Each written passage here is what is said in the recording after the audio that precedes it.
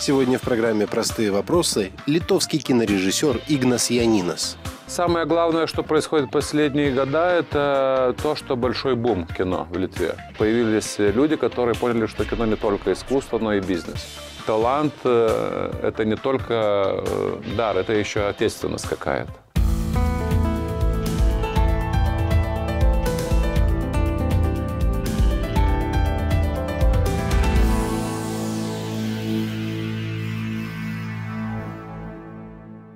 Итак, Игнас, добрый вечер. Большое спасибо, что нашли добрый возможность вечер. поговорить. Дело в том, что я хочу с вами поговорить, исходя из того, что интересуюсь о белорусском кино. А, поэтому... Хороший такой крюк делаете. Да, и, в общем, на вашем примере хотел бы провести какие-то сравнения с тем, что происходит в моей стране. Скажите, что из себя на сегодняшний момент представляет кино литовского производства? Э, наверное, самое главное, что происходит в последние года, это то, что большой бум кино в Литве. Раньше литовское кино э, как хорошее, э, было более такое фестивальное, и, и, и это еще со советских времен, наверное, хорошие наши режиссеры дали какой-то стимул для такого художественного кино. Но потом был какой-то большой спад. И вот сейчас это опять очень сильно поднялось в последние годы, потому что появились люди, которые поняли, что кино не только искусство, но и бизнес.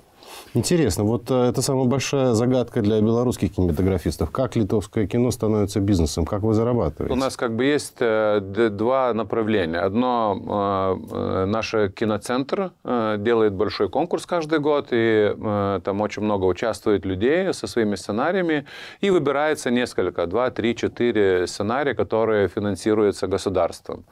Но есть сейчас другое направление, появились независимые продюсеры, которые влаживают свои или какие-то другие деньги. Они небольшие не, не деньги, это фильмы, которые стоят по бюджету не очень ну, много. Ну, приблизительно, можете сориентировать? Ну, я слышал, что я сам не, не, в этом не, не участвовал так, так сильно, но это около 100, скажем, тысяч евро. И так это можно снять какую-то комедию, наверное. Да, это больше большинство это комедия, то, что люди любят. Э, Современная, без костюмов такая что Да, да, это такое очень простые какие-то истории, смешные для, для массовой публики, и они собирают гораздо больше, чем э, продюсер туда влаживает. И они идут в литовских кинотеатрах? Идут прекрасно в литовских кинотеатрах, и кинотеатры сейчас очень даже ждут их, потому что действительно большой бум, люди э, рванулись на литовское кино, и те, которые даже не очень ходили на кино, они, э, они все-таки туда начали ходить, потому что нашли этот материал, который им нравится. Скажите, а насколько верно, что большинство этих комедий это, в общем-то, адаптированные, очень э, проверенные сериалы, э, не сериалы, а э, сценарии, которые написаны, скажем, в Голливуде, в Европе? Я, наверное, надо выделить в этой направлении три, три э, такие э, э, части. Одно, которое получает франшиза каких-то уже отработанных на Западе вещей и адаптирует под, под литовский лад. Э, другое направление – оригинальная продукция, где пишется сценарий здесь и для, э, с этим контекстом э, литовским. И есть третье, которая какая-то такая переработка или, или пьес, или уже сделанных фильмов. Ну, вот какая-то такая история. И в этой части это можно сказать, что это э, формат более сериальный такой. Uh-huh. И даже есть несколько примеров, которые собрали очень большие кассы в Литве. Это фильмы, сделанные после сериала, который прошел э, в телевидении.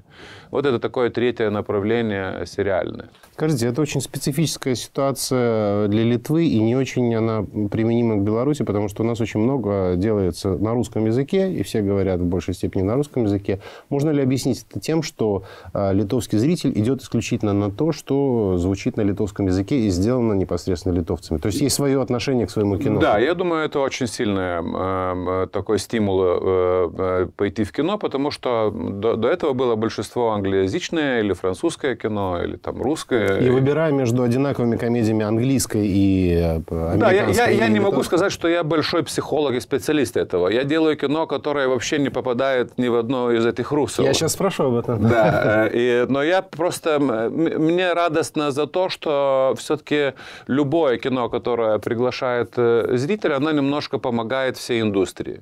То есть люди начинают верить, что можно делать кино. Много лет назад, наверное, 7 или 8 лет назад я был, я сделал короткометражный фильм, и меня позвали на радио дать интервью.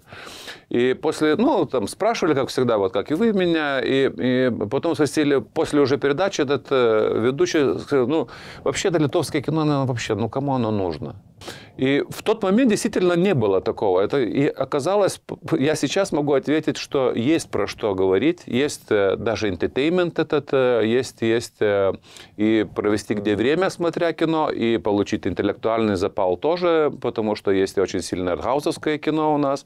И я думаю, что все-таки, несмотря на популяцию страны, несмотря на, на социальные какие-то изменения вот последние там 25 лет, Э, у нас очень много, есть что рассказать друг другу в своей стране. И мне кажется, в, в Литве это, это очень сработало. Теперь несколько вопросов о том, о том, что вы снимаете. Насколько мне известно, вы э, очень много занимались рекламой. Вы один из режиссеров э, достаточно всем, наверное, известного проекта «Елки».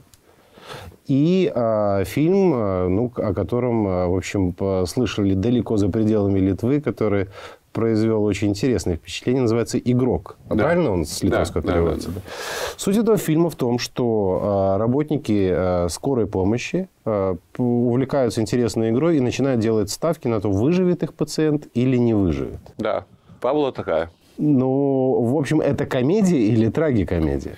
Я думаю, что это больше такая триллер-драма с ироничным взглядом на все это немножко, может, вот если вы уже спрашиваете про контекст, я могу вам рассказать, что я долго не снимал кино, я действительно много в рекламе работаю, и не снимал потому, что э, так, такие фильмы, как «Елки», мне было интересно попробовать только один раз. Это эксперимент в таком э, вот кино для масс. Э, не скажу, что это мне хочется дальше продолжать. А вы какую-то линию снимали? В да, я один а, про скайп там был. Про скайп, да? Да, да. да.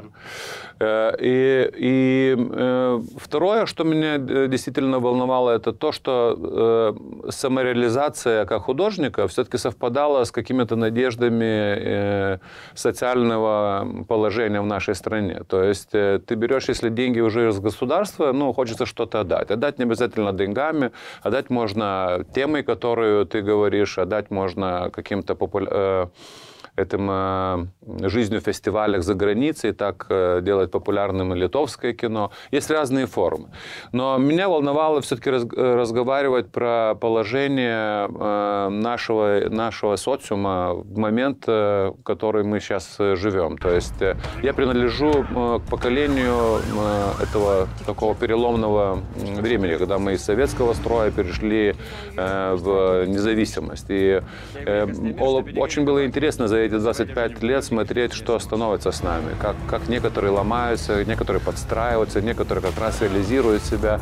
И мы тогда вот с другом моим Криступасом Соболюсом, который э, сам э, доктор философии, преподает философию в университете литовском, Вильнюсском, мы придумали, что надо как-то найти интересную форму, рассказать трудные вещи. И мы тогда придумали, что надо снимать кино, которое было немножко бы затягивало э, зрителя, но тем самым немножко загрузило бы его. Новых каких-то абсолютно... А в отношении киноязыка, вот у вас есть часть этой советской, пресловутой советской школы? Потому что я э, разговаривал, э, записывал интервью с э, Будрайтисом, и мы говорили о пресловутой литовской школе кино. Вот, Знаете, я, я, я с большим уважением отношусь к поколению Будрайтиса. И я думаю, что это действительно великолепные артисты. Желакевич, Брюнас были великолепные режиссеры партнеры. И э, это всегда то, э, это как фундамент, на котором строится здание. Мы рассказывали, что Жилакевичусу очень досталось уже в э, новые литовские времена за то, что он делал. Какие фильмы? Да, ну потому что идеология, конечно, сейчас мы очень критично смотрим на все то, что было в те годы. Ну, психологически кино-то сильное. А, знаете, всегда есть вопрос э, э, про, например, э, Лени Рифеншталь, которая делала великолепные фильмы про, про, гитлерскую, про Гитлера. Да, про Гитлера. И это всегда надо, наверное, разделять идеологию. И мастерство. Хотя и мастерство, и художественную часть. Хотя надо ли разделять? И это все время дискуссия и полемика насчет этого.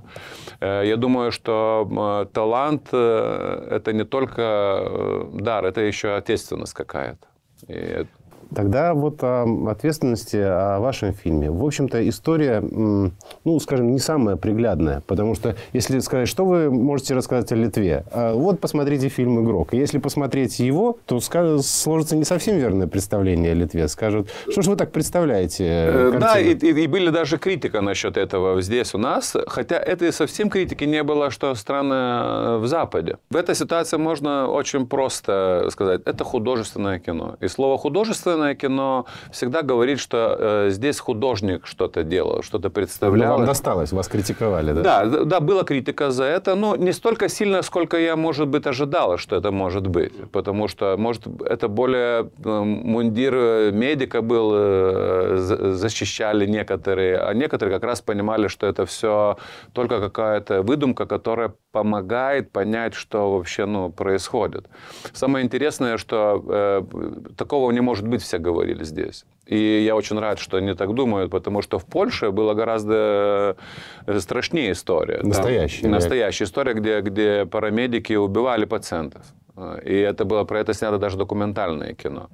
И когда я приезж... при... Э, показывал фильм в Варшаве, они спрашивали, почему вы не делали документальное кино, почему решили художественное делать. И это перемешивание реалий, э, мне кажется, тоже интересно, потому что э, то, что ты придумываешь, хорошо бы, что в моем случае не, не, не совпало с жизнью. Но это как SOS-сигнал, который, что бы было, если бы. И мне кажется, художник хорошо, когда немножко опережает и делает какой-то сигнал. Вы получили на него государственную поддержку из специального фонда, поскольку предполагалось, что фильм будет носить больше социальную функцию, нежели коммерческую. Да.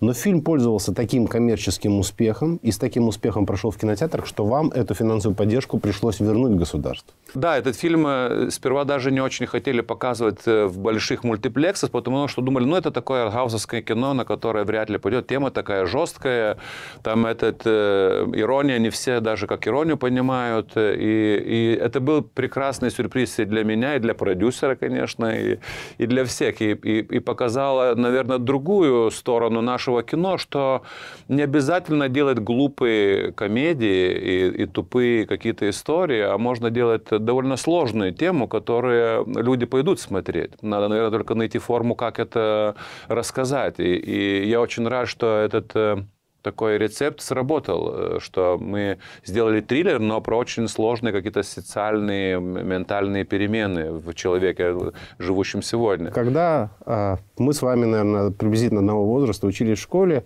и я точно помню, что была такая градация национальных фильмов. Совершенно точно существовало грузинское кино. Как да. я вам говорил, было очень очевидная литовская школа. Во всяком случае, что касается э, того, что снимали про Запад, про Америку, снимали обязательно литовцы. Ну, да. Или рижская киностудия. Еще фашистов всегда играли литовские артисты. Ну и хороших э, американских миллионеров тоже. Да, и то.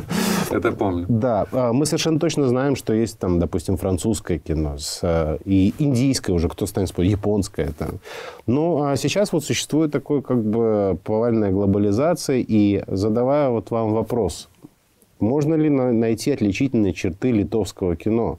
Есть ли какие-то приемы? Или, скажем, вот в вашем конкретном фильме «Игрок» есть ли какой-то сюжетный поворот или диалог, который возможен только в Литве. Он не может быть в Беларуси, в Польше, ну или, скажем, не может быть в Америке точно. Да, вы, вы правильно подметили, что э, действительно есть очень много э, специфики. Мне казалось, что я тоже очень делаю какое-то другое уже кино, чем это было раньше. Но чувствую, что влияние такого поэтического кино, которое было очень сильно, особенно в документалистике или литовской, наверное, все-таки влияет на меня. Но, думаю, тем самым становится очень интересное столкновение двух э, эстетик. Эстетика, которая как раз э, эти коммерческие литовские фильмы э, приносят, то есть такой проамериканский, быстрый монтаж, динамика, чуть-чуть рекламная, чуть-чуть телевизионная такая смешанная. И такое старое, хорошее, классическое кино, которое имеет свои э, длинные корни там еще в, в прошлом. И это столкновение, наверное, сейчас породит какую-то еще новую волну. И я, я бы очень рад на этой волне поучаствовать. И я думаю, что вот как э, скандинавское кино есть, которое довольно разное, там и э, датское кино, и шведское, и, и финское, они имеют свою специфику, но тем же самым они как бы называются одним скандинавским кино. Это как лейбл такой, как, как уже фирменный знак э, в мире кино. И мне было очень интересно, мы с фильмом были в Маракеше фестивале, там приехали все, и Мэтт Микельсон, и Рефн, режиссер, э, с, с актерами самыми известными, и они делали такой трибют для скандинавского кино. И это было очень красиво, и мне кажется, немножко даже завидно было, что мы как-то вот э, не сумели, или еще не сумели, сейчас вот как раз идем к этому, что нас понимали бы как один регион, потому что даже и в советское время мы были немножко как отдельно. Нас да. называли Прибалтикой да. всегда, и, и, и ментальность наша тоже очень раз, отличалась от, от, от других. И, и мне кажется, у нас есть много общего, и это общее может стать какой-то ну, такой э, балтийской волной кино. И я бы очень хотел, чтобы так стало. Я благодарю вас за ваше время, за это интервью, потому что вы для э, своих же коллег в Беларуси, ну, наверное, какие-то, на какие-то вещи совершенно точно поможете взглянуть немножко по-другому.